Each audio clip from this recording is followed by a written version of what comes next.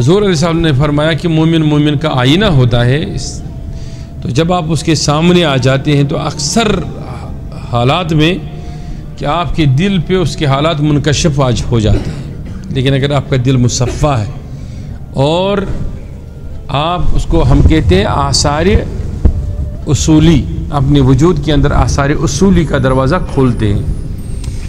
अच्छा गौस अजम फरमाते हैं सुबहान मिन अलका मिन कलबी नुसल खल के वजल अकबर इन्नी नाशन वाला उरीद वाला जालिक फरमाता इस आपको तवज्जो है मेरी तरफ़ सबको फर इस हालत में तुम्हें अपने आप को परखने की कोशिश करनी है और पहली परख ये है कि जब आपको कोई नासह नसीहत करने वाला सख्त तरीन अल्फाज से किसी शय की नसीहत करे किसी शय की तरफ़ रोके और तू समझ ले, अगर आपने दिल से उसका शुक्रिया अदा किया और इस नसीहत को कबूल कर लिया तो कहना तुम्हारा दिल अभी इनकी सारी के तरफ़ है। और खुदा बंदी करीम चाहता है कि आपको आगे करे। अगर आपको नसीहत सुनने वाले का गुस्सा आ गया और आपने दिल ही दिल में अपनी जमीयत कायम करनी शुरू कर दी और उसके मुखालिफ में अंदर दिल ही दिल से हो गया तो गौश अजम फरमाता है कि फिर पक्का समझ लेना आपका दिल शैतान की मुट्ठी में है। किसमें? मुट्ठी में। कहा तो तवक्का ही न रख कि अल्लाह ताला की मेहरबानी तेरे दिल पे हो जाएगी। समझ लो कि तुम्हें ना से मारे, तुम्हें ना से मसले, तुम्हें ना से कोई नसीहत करे तो ऐसे कबूल कर कि जैसा प्यासा बदन पानी के कतरों को तरसता है और कबूल करता है।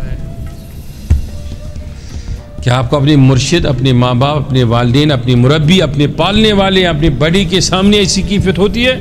अगर होती है तो समझ लो कि अल्लाह ताला मेरे दिल को खींच रहा अपनी तरफ़। अगर ऐसी नहीं इसकी बुरक जैसे मैंने बताया तो समझ लो कि मेरा दिल कभी भी इसमें अल्लाह ताला की रहमत नहीं आ सकती, क्योंकि ये शैतान के मुट्ठी में आ चुका है।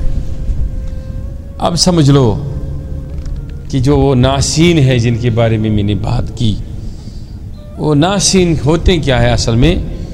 कि इंसान का दिल अगर शैतान की मुट्ठी में आ गया, किसकी मुट्ठी में? मुट्ठी दो कस्म की है।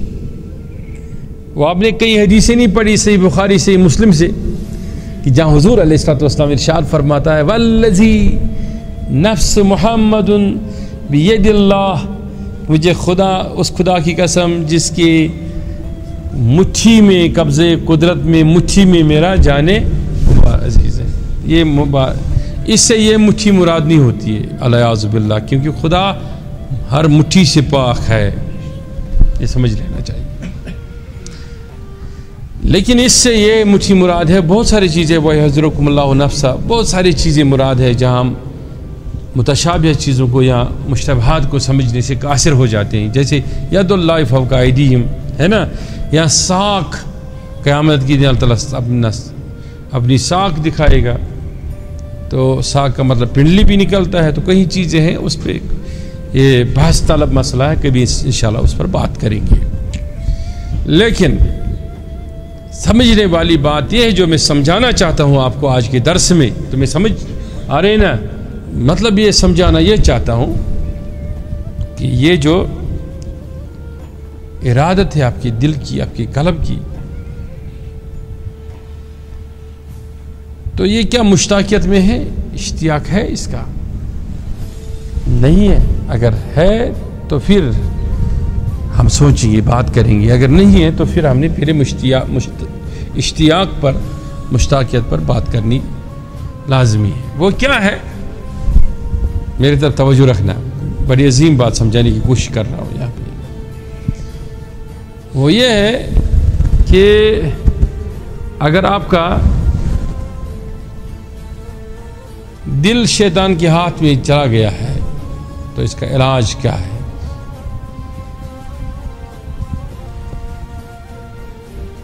आपने देखा होगा, बहुत सारे पीरों के यहाँ, आमिलीन के यहाँ, अच्छे आमिलीन रहे दुनिया में कम।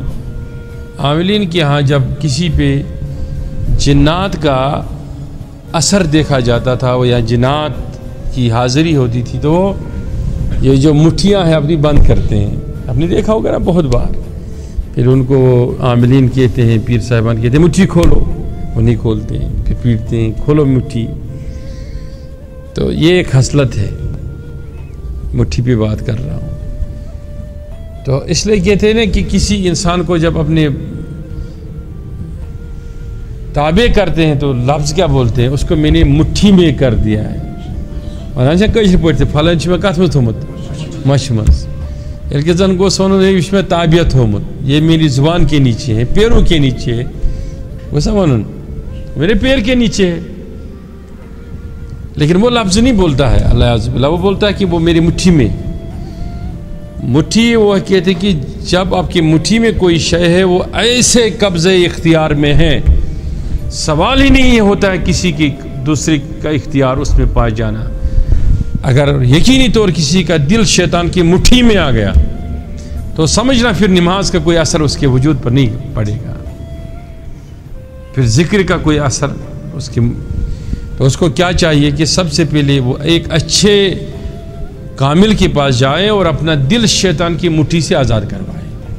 क्योंकि उसके बस की बात नहीं है। ये कब होता था, कब खुलता था कि जब इमाम अज़म की तरह इंसान खड़ा हो, एक पैर पे रह के तीस पारे पड़ता था, या पंद्रह पारे पड़ता था तो फिर सीधी सी बात है, शैतान कभी किसी का दिल पकड़ नहीं पाता था। अब दिल तो हमारे चले गए शैतान की मुट्ठी में। और हम कहते हैं कि हम तो सजदे में हैं। इसलिए सजदे में है, सोचते कहीं और है, रुकू में है, सोचते कहीं और है, क़याम में है, सोचते कहीं और है। ठीक है? अतयात में है, पढ़ रहे हैं, अस्सलाम का यूहन नबी। यानी कि शब्द मोदी तलवी ने कहा कि जब पढ़ोगे तो रुको, क्योंकि रोज़े से तो सलाम बाकी आनी है ना। चंद लम्हात के लिए रुको। तो हम पढ़ रहे हैं, अस्सलाम का यूहन नबी व रहमतुल्लाह। ये ख्याल ही नहीं हम किस पर सलाम कर, पढ़ रहे हैं और हम पता नहीं बाज़ार में कहा किस काम में है। क्यों? दिल शैतान के मुट्ठी में। मुट्ठी खुलती नहीं। तो ये सारे चीज़ें जब इंसान हजूर वसलम की हदीस है ना, वो फरमाते हैं कि आपके वजूद के अंदर एक गोश्त का टुकड़ा है। अगर वो